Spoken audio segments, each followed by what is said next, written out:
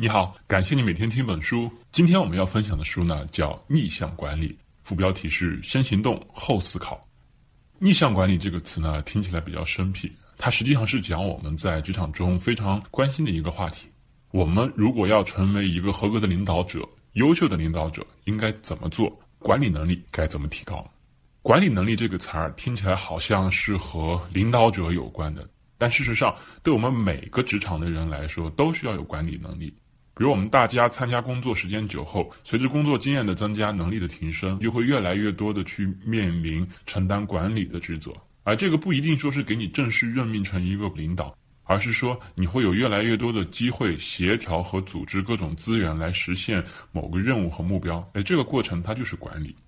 这个时候呢，你可能会发现，有的人呢，他从过去的技术岗位转到管理岗位之后，就如鱼得水。很快的就把各方面事情打理得井井有条，可是有些人呢，很长时间也转不过这个弯来。和他一起合作的人呢，要么就觉得很不满意，然后要么就他做了很久，成效也并不显著啊。那么问题就来了，这个管理能力是不是是有人天生的差别？管理能力到底能不能学？有没有方法和办法呢？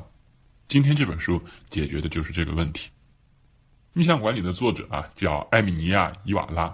我们每天听本书节目，此前讲过一本书叫《转行》，哎，这两本书是同一个作者，也是伊瓦拉写的。我们这里呢，再简单介绍一下他。伊瓦拉呢是欧洲工商管理学院的教授，在哈佛大学担任过十三年的教师，主要就是教企业管理和人力资源方面的内容。他本人呢就是一个非常著名的管理学家，被《哈佛商业评论》称为二十一世纪最重要的五十位管理思想家之一。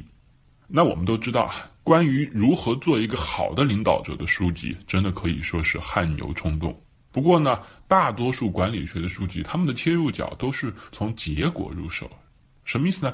也就是说，他往往是研究一个好的领导者是什么样的。比如，他会得出结论说，他们往往是果敢、有热情、很有决断力、有毅力啊，有大局视野等等。他告诉你什么是好的，你去做。但是呢，逆向管理这本书的视角很不一样，它并没有直接从这个结果入手，而是关注转变的过程。也就是说，如果从一个普通人没有管理经验的情况下，要成为一个领导者，他究竟走哪些路，最后能顺利的成为领导者？这些原本应该及早做，但是大多数人在转型的过程中没有意识到的问题，就是这本书研究的。他告诉我们。如果我们要成为一个管理者，怎么样有一条最小阻力的路径？正确的结果来自于正确的过程。伊瓦拉根据他多年的研究，采访了数十位顶级的企业领导者，他得出了一个很重要的结论：最有效的路径是由外而内的成长。换句话说，你就要遵循先行动后思考的方法。这就是我们今天要聊的话题。我们的话题分为三个部分，第一。为什么作者认为成为一个领导者要先行动后思考？第二，我们需要做哪些改变？第三，在这个转变的过程中都要经历哪些阶段？让我们一个一个问题来看。先看第一个问题：为什么作者说我们要先行动后思考？你看，我们大多数人从工作岗位慢慢转型，承担一些管理责任的时候，往往都是这么做的。呃，我先想一想，我要管理的这个事儿做的事情是什么？啊，我要采取哪些措施？我怎么样把我的团队带好？我接下来要采取哪几个步骤？这种模式呢，我们基本可以总结为是先思考后行动，就是说先想好我要该怎么做，然后呢去采取行动。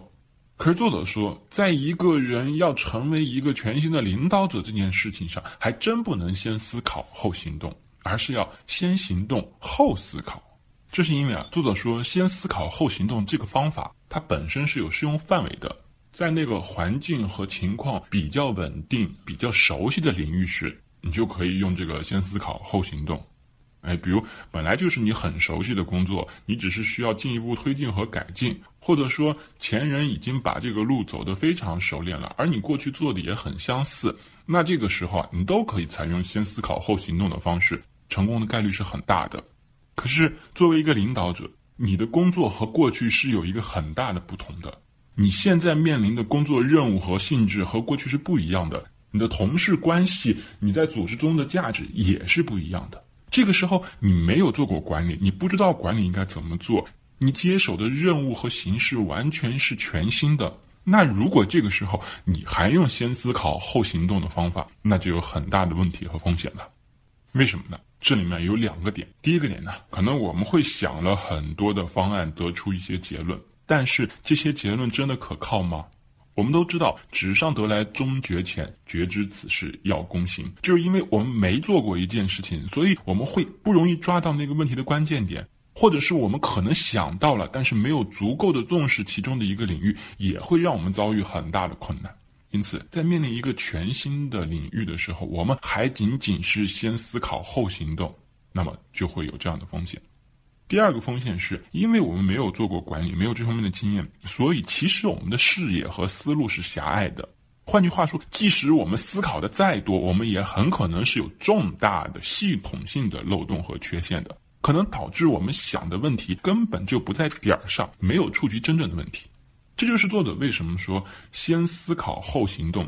对于我们从普通岗位、从过去的一个角色转换到一个全新的视野的时候，它是不适用的。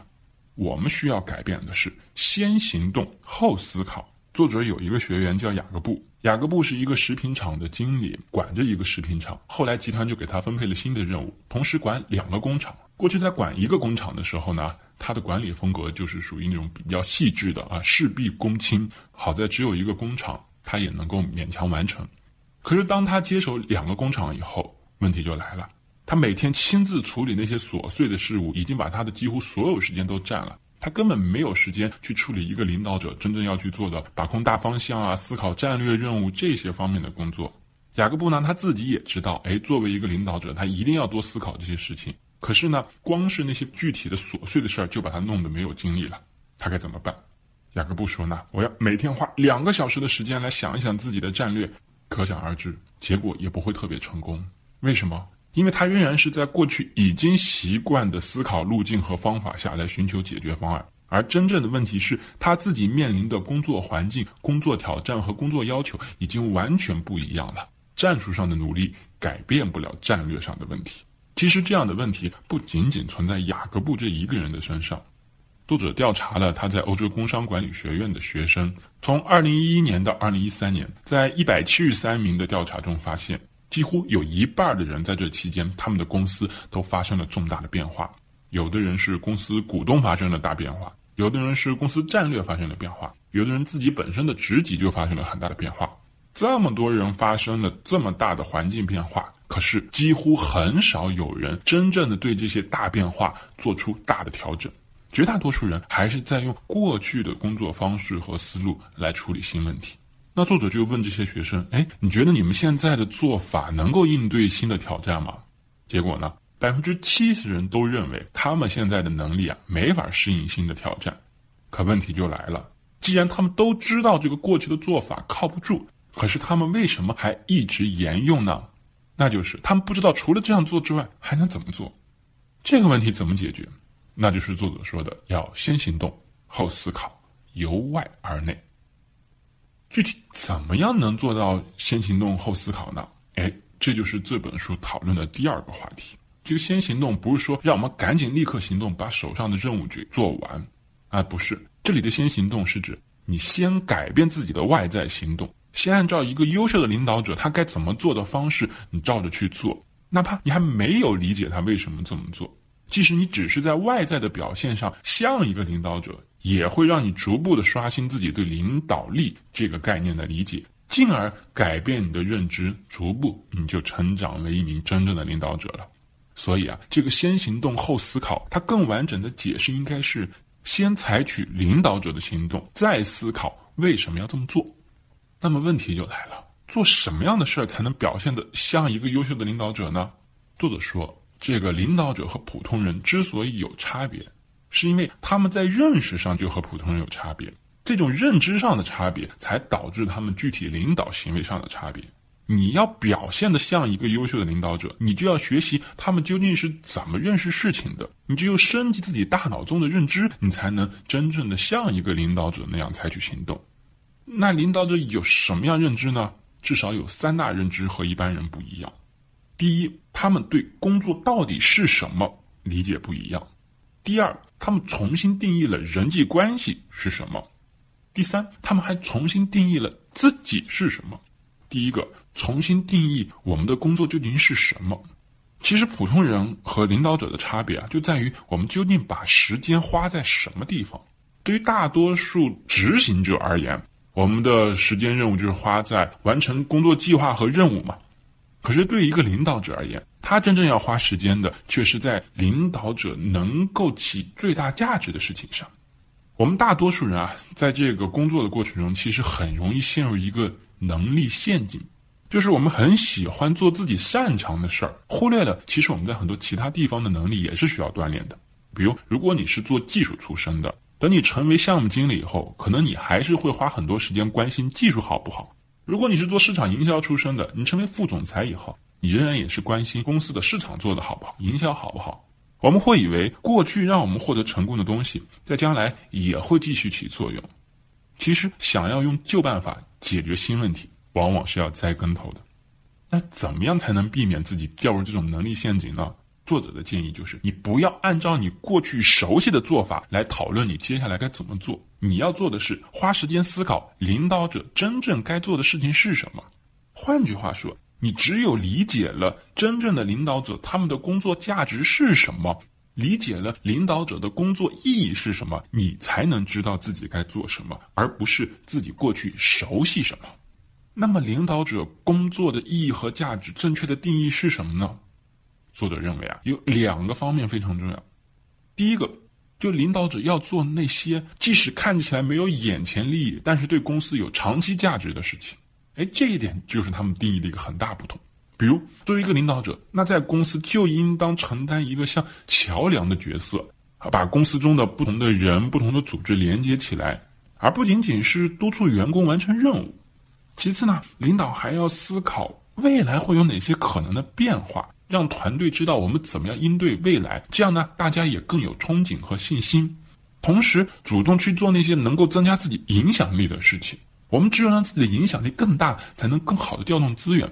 最后，他还应当去把自己的想法、经历和做的事情和团队发展的愿景结合起来，这样呢，也能让大家理解和支持领导。所以这些事情看起来啊，不会对某个项目业绩有立竿见影的作用。可是这些才是真正有长期价值的事情。你如果不理解，你先照着做。所以啊，这是要成为一个优秀领导者，你先得和他保持一致的认知。领导者对工作理解还有第二个方面，那就是他会把工作当成一个能力提升的平台。比如，你可以从更开阔的视角去思考：哎。你所在的岗位、你的公司、你所在的行业究竟处于什么样的位置？在这样的行业发展大背景下，新的技术会怎么样影响你的公司和你的岗位？甚至人们的消费行为习惯在发生什么样的变化？对我们有什么样的影响？多去从这些更高的尺度上思考问题，就会让我们对自己的工作的理解认知完全不一样。这是培养我们良好的定位感、打开我们视野的一种很好的训练。这种思想训练也是领导者会做的事情。再比如，去创造一些能够和专业之外的人合作的项目。你不能是财务的人呢，就只做财务的事儿；技术部门呢，就只关心技术部门的事儿。领导者要横向的、多部门的、跨领域的工作来参与。这些工作可能是和人力资源部、策划部、营销部一起合作的，让你的视野从自己单独的专业领域中拓展到全新的领域。一方面，你对公司有了更深刻的理解；另一方面，还能让你接触到很多和自己价值观不同的人。更重要的是，在这个过程中，你从过去只能依靠等级这个纵向的往上提升，通过这种跨领域的合作，建立了可以横向跨界的能力。这种能力对于领导者是特别重要的。除此之外，作者还建议你应该在工作中找各种各样的机会，把你做的工作和事情啊，过去的经历变成故事去传播出去。哎，你要经常去演讲，这个呢，一方面能够让更多的人支持和理解你们所做的事情，另一方面也在锻炼你。最后呢，作者还说，你要记住，培养能力的过程啊，不是说密密麻麻把日程全排满了就是好事情，要给自己留白，把自己的日程啊放松一点。最成功的一些领导者，他们看起来反而是最没效率的那个，因为他们会空出很多时间来提升自己的领导能力。这就是一理解并践行什么样才是领导者真正的价值所在，你照着做。第二，你得把工作改造成一个能提升你能力的平台。你只有先改变自己的认知，模仿优秀的领导者，采取这样的行动，你才有可能成为一个优秀的领导者。所以，这是第一个，我们要改变对公司工作的定义。那第二个要改变的认知啊，就是我们对人际关系这件事儿的理解。你看，我们刚才就提到，在领导者重新认识自己工作角色中，有一个重要的任务，就是扮演和承担一个桥梁的角色，去连接和整合各方面的资源。那究竟领导者对人脉的认识有什么不同呢？领导者一般都把人脉分成了三种类型：运营人脉、个人人脉和战略人脉。所谓运营人脉呢，就是指我们的同事、领导、客户这些和我们工作密切相关的人际关系。他们的目的就是帮助我们更好的完成工作的任务和目标啊，调动组织内的资源。那个人关系呢？啊，其实就是说我们的朋友啊、家人啊、过去的同学啊等等。这个群体主要是给我们情感支持的，虽然有时候他们还能给我们解决一些实际的问题，但是呢，一旦你成为一个领导者或者更高级别的时候，这些个人亲情关系，他们能够在其他领域发挥的作用就越来越少了。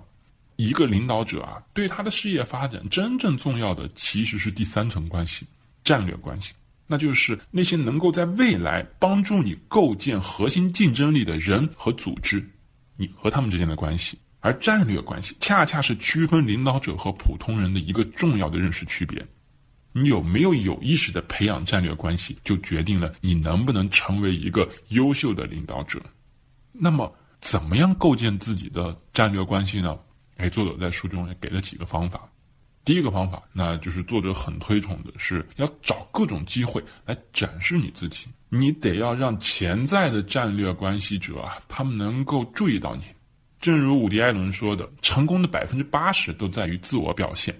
书中举了一个例子，是说有一个年纪很小的小姑娘去参加一次行业会议，那人家参会的人就都没太注意这小姑娘，因为觉得一个年纪轻轻的小姑娘有什么好聊的。可是小姑娘在会议上一做主题发言，大家对她的认识和印象完全就变了。发言一结束，一大帮人都跑过来找她，人们都不再关心她的年龄了。为什么？因为她发言之后，人们都知道她能为他们提供信息，有价值的信息，重新定义了她。所以啊，你也不要担心自己的年龄啊、职级啊、岗位啊，重要的是你能够通过展示告诉别人，你能给他们有什么样的价值。通过这样的展示自己，就有助于构建你的战略关系。所以啊，这本书的作者就说，他呀参加各种会议啊、论坛，有一个很重要的原则，那就是要么他就不参加这个活动，如果要他参加，就必须答应他一个条件。让他能在活动中发言，或者至少能够介绍发言人。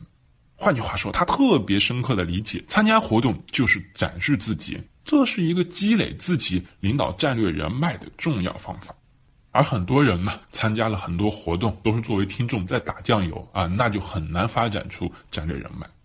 而第二个构建战略关系的重要方法呢，那就是要用好六度人脉的理论，也就是说，要让已有的朋友去推荐自己认识更多的朋友。第三个方法要多维护重要的已有关系，来带动新的战略人脉关系。第四个方法呢，你还得多加入一些志同道合的兴趣小组和组织，比如读书会啊、什么某种沙龙啊等等。在这些领域，因为大家志趣相投嘛，所以可能会发展出未来的战略关系。其实这一部分讲的都是我们怎么样构建有效的战略人脉。此前我们关于人脉讲过一本非常经典的书，叫做《别独自用餐》。在这本书中啊，就把如何有效的发展人脉做出了很好的解释。对人脉管理感兴趣的朋友啊，可以听那一期《别独自用餐》节目。好，作为一个领导者，最后一个要改变的认知呢，就是重新定义自己。为什么要重新定义自己呢？其实我们在逐步具备领导能力的过程当中，还会面临一个心态的问题。又得协调同事的关系、不同组织资源的关系，还要构建新的人脉。你会发现，为了实现这些目标，你可能不像过去的自己了。你觉得和过去的风格啊、原则、价值观是有时候是相违背的。如果觉得有违做一个真实的自己，不愿意接受内心的自己，可能就很难成为一个真正的领导者。不过啊，这里面就涉及到一个问题：什么是真实的自己？我们坚持的真实的自己，是不是只是过去的自己？作者直接给了一个很好的解决方案：你先别纠结什么是真实的自己啊，你可以把我们在成为领导者这个发展技能的过程当中，有可能变成不一样的人这件事儿，理解成一个游戏。这个游戏呢，叫身份认知游戏。什么意思呢？